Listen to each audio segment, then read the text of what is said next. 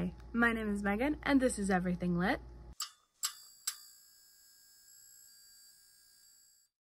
Today I'm to do a book haul because I have acquired many books since the last one and I might do these every month or so because I have a lot of pre-orders that are coming in and I have a problem.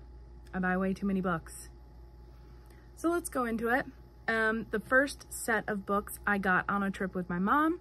We went um, on a road trip from Michigan to Portland, Oregon. So these are books that I picked up at the Portland staple Powell's Books. Um, it's a giant new and used bookstore, one of the largest indie bookstores, I feel like. And it was huge. I was so overwhelmed. I wish that we had had more time in there because I was like, we were on our way somewhere else, but I got a good like hour and a half in. So it was fantastic. And these are the books that I got. So the first book I got is Nevada by Imogen Binnie or Imogen, Imogen Binnie. And this is a road trip story about a trans woman who steals a car and just drives away. And this is um, sort of an older book that got reprinted. And when I say older, I feel like it was published in like 2014, 2013, so close. And I, so one of the reasons I got it, one of the reasons it's on my radar is because I am writing a book with a trans main character and I want to do my research and see how other people write trans characters and, you know, do my best to not mess it up.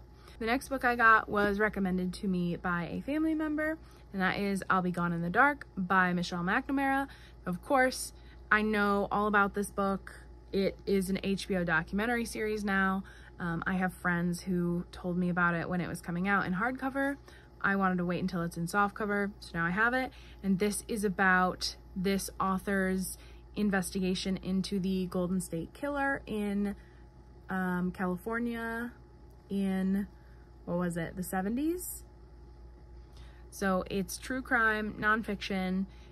I hear it's really great. The next book I got is The Impossible Lives of Greta Wells. This is by Andrew Sean Greer. Um, I recently read his book Less, which is like a Pulitzer Prize winner. It was really good. So I picked up something else by him. And this is about a woman whose twin brother dies and she accidentally starts time traveling starts getting, I think, electroshock therapy or something for her depression and starts time traveling to, let's see, it says 1985, 1918, 1941. So it's another time travel book. Gotta add it to the list. And I, maybe I'll read this in a time travel vlog. Ideas for future, Megan. The next book I got is Red Clocks by Leni Zumas, and this is a like futuristic dystopian story about abortion being illegal and how that actually affects in vitro fertilization. And um, it follows what five women. And I bought this because of the recent political climate, and this has been on my radar for a while. Uh, and I finally was like, you know what? It's in this store it's used, it's cheaper. I'm buying this now and hopefully reading it can make me feel better or it'll make things scarier. You never know. The next book I got is Calypso by David Sedaris. This is another book recommended by my cousin, Laura. She doesn't watch these because I haven't told anyone. so this is a series of humorous essays about his life um, he's pretty well known for Naked and Me Talk Pretty One Day. And he just has like a really funny perspective on life. And I read like the very first page about like being middle-aged and having a guest room. Like you've hit a certain level of like wealth and prosperity when you own a house with a guest room because you have this whole bedroom that you don't use for anything except for when people come over, they can stay there and his, his tone is really funny and like I get that I identify with that I don't have a guest room yet so I got this. I bought a lot of nonfiction. I'm excited. The next three books I still got at Powell's Books, but on this road trip with my mom, we stopped in Ketchum, Idaho because I am a huge Hemingway stan um, for reasons that I can't quite figure out. So I bought a couple Hemingway books because they had an interesting selection. So I bought Winner Take Nothing, uh, which is his collection of short stories that came out, I think, second, his second collection of short stories. Um, and I have, I, I don't know why I'm collecting these because I have an entire thick book that is like all of his short stories collected. But I still bought this because like this is the collection that he put together, not just like a conglomeration of everything. The next thing I bought is something that I have been on the lookout for, and that is The Sun Also Rises, which was his first novel. And I've been looking for a pretty version of this book forever because they don't publish pretty versions of Hemingway's books, and I, I don't understand why. They have like 8 million copies of Fitzgerald books. They have, you know, Little Women in these beautiful covers and special editions. And something about Hemingway just doesn't get special editions. So when I found this illustrated edition, I snapped that up. This has like really beautiful illustrations throughout. And I, um, I've already read this book like twice, but I wanted a pretty one, you know? So then the last thing I got is Conversations with Ernest Hemingway. And this is sort of a compilation of various interviews he did, conversations that people had with him, like journalists and interviews. And the reason I got this was because I opened it to a random page and the question was basically like, what do you think about Hollywood and like authors who like sell their rights or whatever? Do you think it has diluted the, or not dilute, like diluted like writer's talent or something? I don't, I don't remember the exact question, but Hemingway's answer was like, whores will always find work. And it's like, oh, damn, Hemingway, like calm down. So basically, if you're to sell out, you're to be a sellout regardless of talent. I don't know. He was harsh. So obviously, after reading that one sentence, I bought it. All right, the next set of books I got on a different trip because apparently July was just the month of trips. So I went to visit a friend in the Chicago area and of course it's a writer reader friend. So we went to some bookstores and it was a great time. So she got me this book called Fondling Your Muse, which is amazing. Um, the title alone really just suits me. Yeah, because that's how do you get inspiration? You fondle your muse. Duh. But I read a couple pages, a couple chapters of this, and it's very much like tongue-in-cheek funny, but also genuinely helpful. So like I just turned to the chapter, um, creating your villain, and it says, above all, your villain needs an interesting name. I'm like, yeah, Cruella de Ursula, you need an interesting name. It needs to be unique and memorable while also suggesting malice, but not be too overboard. So it's like, yes, it is helpful, but it's also kind of like making fun of like writing advice. Like, I, I think it toes a line. And yeah, so thank you. Next set of books I got are from that trip. We went to a Barnes & Noble because I'm trash for Barnes & Noble. And I got In Another, Maybe in Another Life by Taylor Jenkins Reid. And this is about, this is about a woman who at the end of the night has like a choice to leave with her friend or leave with a new guy that she's met. And I feel like the storyline goes, it follows each decision. Like if she made this decision, this is how her life would go. And if she made this other decision, this is how her life would go. And this is one of Taylor Jenkins Reid, Taylor Jenkins Reid's older books um, prior to, you know, Seven Husbands of Evelyn Hugo fame. So I'm interested to start on her backlist. Look I got is The Accidental Pinup by Danielle Jackson. And you can see this is part of the buy one, get one 50% off.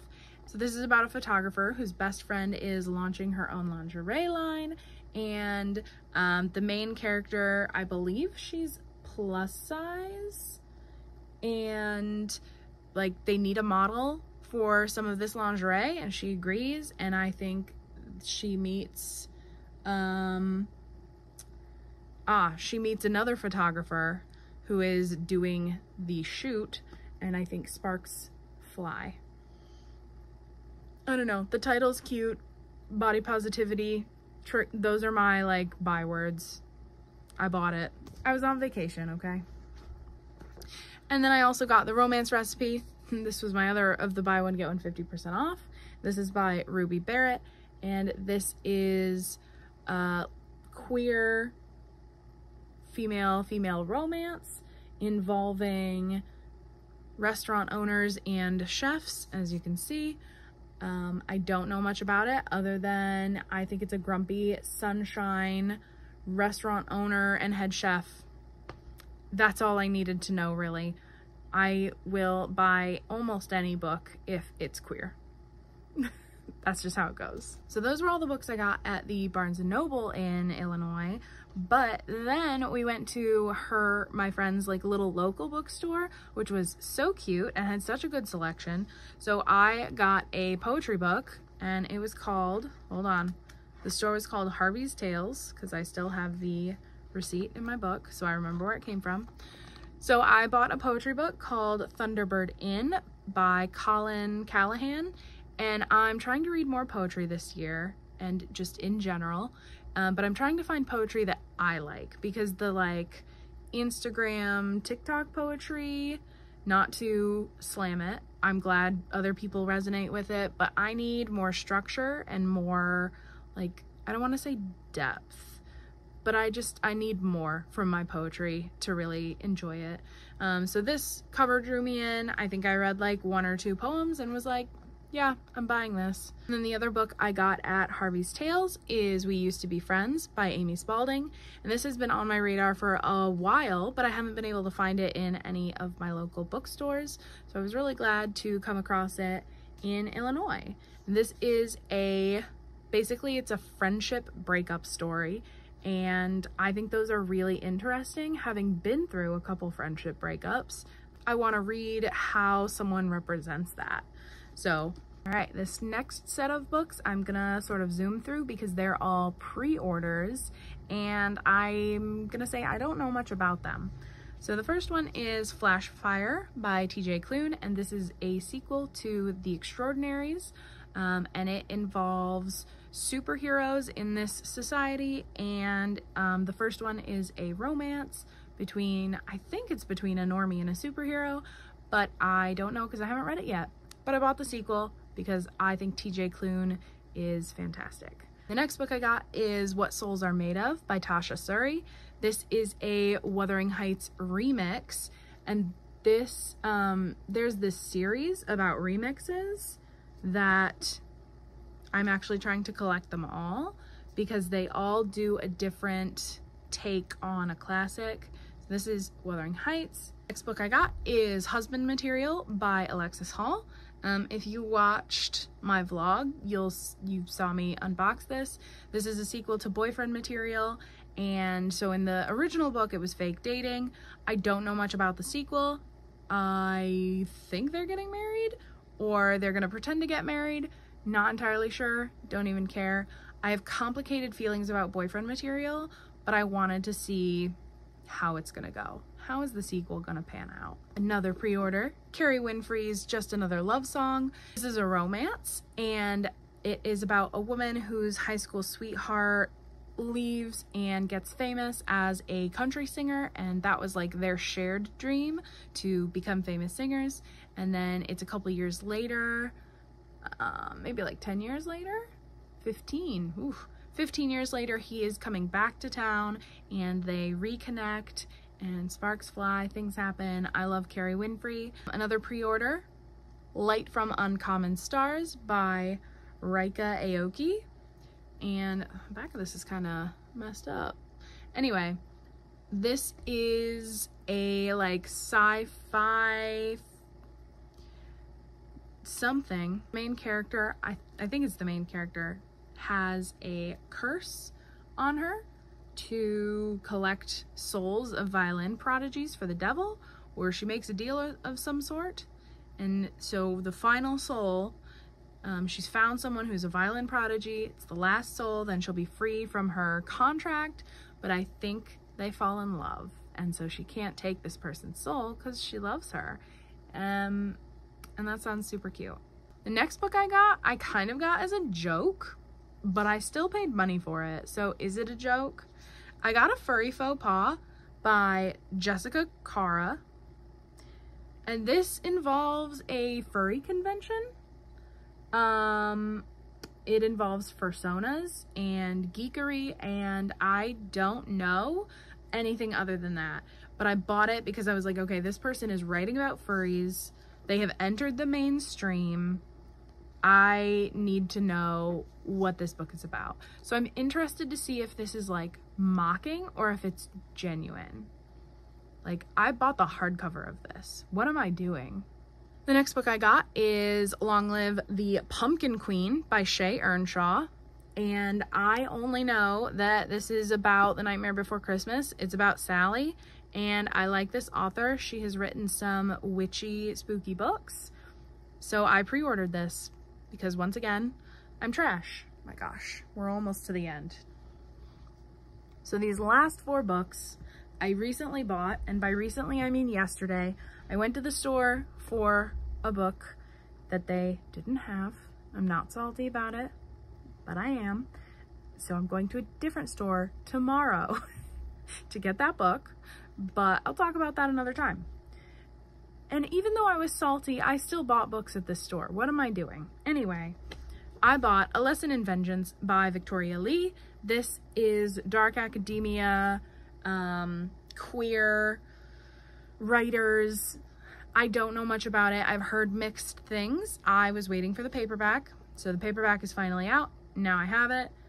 Um, I can't wait to read it and see what the hype or what the anti-hype is about. I bought So Many Beginnings by Bethany C. Morrow, and this is a Little Women retelling or remix. Um, it's in the same like series as the Tasha Suri What Souls Are Made Of.